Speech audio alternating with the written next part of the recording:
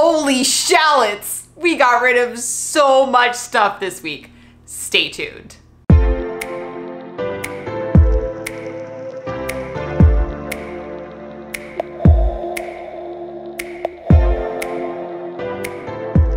So this week we tackled minimalism. Now, come back. so, let's start by defining minimalism. Minimalism isn't just about getting rid of things, it's also about the things you keep. It's all about being mindful and aware of what is in your life so that you don't just end up with a lot of clutter or things that you don't use. We live in such a consumerist society. Everyone has the newest Apple iPhone. Everyone's got, you know, the latest gadget. And so being mindful of all the things that we actually have and we've accumulated over the years, are we still using them? Like, are they old? Are they still working? Taking that time to go through those things and realize I'm not using this anymore. This served no purpose in my life and then deciding what to do with those things, that's really what minimalism is all about. And so for me this week, I was able to get rid of a lot of things and then give it to people who I knew would actually appreciate it and use it. I sent bee pollen to my mom back home because she was sick and I knew she could use it. I uh, gave away all of Jasper's old shoes to a friend. That's where they went? Sorry. Seth really wanted them. Jasper's mom is always looking for Tupperware, so I went through all of our plastic Tupperware that we have just collecting dust, cleaned it up. I'm pretty sure we stole half of it from her. and we gave it back because she could use it. It's a regift. we had two, not one, but two trampolines on our porch. Why do we have so many trampolines? Don't don't ask questions. It's better No. not to know. No, we had we had three trampolines on our porch. We're only using one of them. So we got rid of two. Minimalism. Minimalism. Minimalism at its finest. You have three trampolines, guess what? You only need one trampoline. We only ever needed one trampoline. No way. This is done. Done. So, So- how to do minimalism? Start We're getting small. better at this. We are. No, we're not. Start small. Uh, when you get into this idea, it can be really exciting. You want to throw everything out, uh, but take it slow. Think about the things you can get rid of. Um, Start with one purse. Just go through those things and just you'll be amazed at how much you're able to get rid of. And then start mapping out maybe a room or a section of, the, of your apartment or house. Once you get that impetus going, it makes it so much easier. Start by getting rid of the things that are obvious. If you know you don't need it, get rid of it. Don't try and deal with the harder things. Don't start with your memorabilia and your keepsakes. Jump right to the clothes that you never wear. Jump to the things you actually just didn't realize was in your house and you're ready to get rid of it.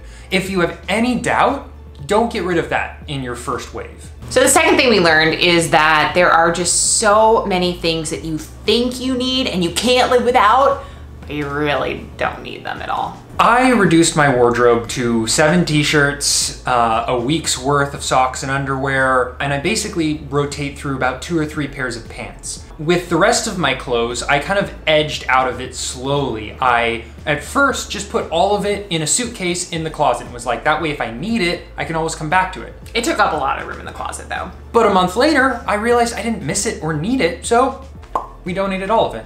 Once you start getting into those objects that might have sentimental value, just take a picture of them before you get rid of them. You'll find that you can look back on those photos later and remember that thing and get just as much value out of it as actually keeping it. Because that t-shirt that's got a hole in it that you never wear with the weird yellow stain you're pretty sure isn't urine, you're not gonna wear that. And if you're way more creative than we are, you could maybe even like cut up fabrics, stitch them into like the big, I can't remember the name of it, but it's like that big cloth. A that, like- quilt? that's it. You wanna make a quilt. Yes. You could make a quilt. Don't make a quilt out of your urine stained t-shirts.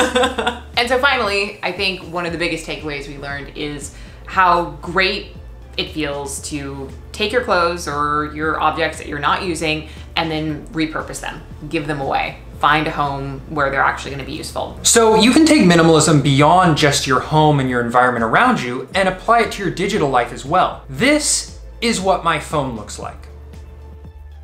That's right, no apps, no nothing. And why this is so valuable is it keeps me from just going to Instagram or Facebook or Twitter just out of habit to get a dopamine hit or to fill an empty moment. Instead, I use my phone much more intentionally and find myself only going to the apps I need to use for the given purpose. So there you have it. That's pretty much minimalism in a nutshell. You can really apply it to so many different aspects of your life, from going through a small section of your purse to part of your kitchen to your whole closet and even your iPhone. You can apply it in so many different ways. We hope you enjoyed this video and we hope you learned something and maybe you too can try minimalism. Another week. Another challenge. Let's do this thing. Here we go. Rock and roll. Halfway through February. We've got so many challenges under our belt. We have. Yeah. We're doing really well. But it's time to face the fates once more and hope that they're Please kind. not the coffee one. Please, please, please challenge gods. Please. Oh. oh. If that was the coffee one that fell out, Which one was it? what was it? Video games. Ooh, that would be prescient. I hope that's the one she draws. Please put that in the back of the deck. It's somewhere okay, in there. how many times do we have to shuffle? Okay, okay, we're done. We're done. We're done. We're done. We're done. We're done. We're done. Okay. 17 times. All right, Oh, I'm just picking this one. Blah, blah. Okay, this one. Ah. You're kidding me! You're kidding me! No, I can't make this up. Stop. Stop what you're doing. Wow! What? What? Am I engaged to a magician? What the heck, Jasper? That is, I swear to God, this was not a trick. What? Well, looks like I'm playing video games all week. I'm the happiest man. in the world.